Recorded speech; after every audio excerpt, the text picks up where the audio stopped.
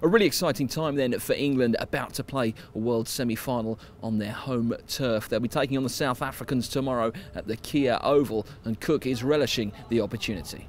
it's a massive game for both sides here. It's, um, we've got the opportunity to go into the final of a, the ICC, of an ICC uh, competition and it's, it's such an exciting place for a player to be. You know, we've almost played knockout cricket throughout this Champions Trophy. This is obviously, um, you know, the one step towards a final, and you know we've come here to try and win the tournament. So it's uh, it's an amazing opportunity we've got tomorrow, and I think both sides will be excited that. It's another day, isn't it? Tomorrow, it's another game, and what's gone on in the past has gone on, isn't it? It's not.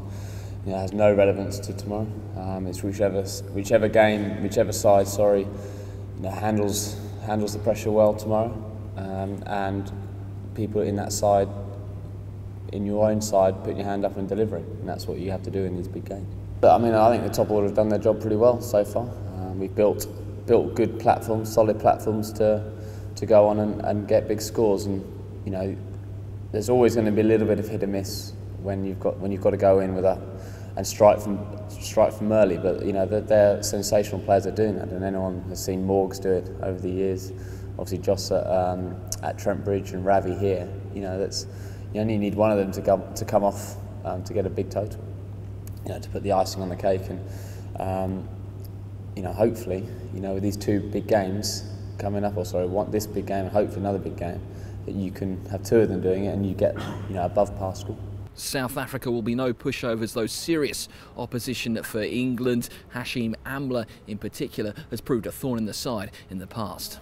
Well, he's a he's a massive player for them, isn't he? He's uh, he's, he's a very good player. Obviously, we've seen that firsthand last year here in the in the one days and obviously the Test match here as well. So he's a danger man for them, and he's one of their key players. And I say if we can strike early, um, obviously the two new balls, it gives uh, gives that opportunity to do that. And we're going to have to. Our bowlers are bowled extremely well in those first ten overs um, in our in this Champions Trophy so far, and we're going to have to do that. You know, do that this time uh, against South Africa. We know he's a he's a fantastic player.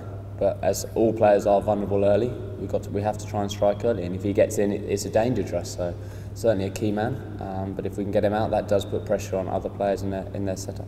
Some selection concerns for England. Tim Bresnan has gone home to be with his wife, who is expecting their first child, and it's unknown whether he will get back in time to play. And also, of course, further concern over Swann's injury. But Cook is confident that Treadwell can step in and do a job again. Um, obviously training this afternoon. It's clearly a concern for us. Um, you know, we haven't ruled him out totally yet for this game. Um, we're going to have to see see how he trains today um, and see how he pulls up tomorrow. I mean, you know, there's one thing for certain: he won't be risked. Um, there, there is no point in doing that for the fact that we've got a, you know, Treaders is an exceptional bowler as well. So we're very lucky in that department. So you know, caution we might be very cautious with him because it seems very sensible. A massive game then at the Oval tomorrow. England versus South Africa. The ICC Champions Trophy semi final. The place in the final up for grabs. Barney Douglas for ECB Online.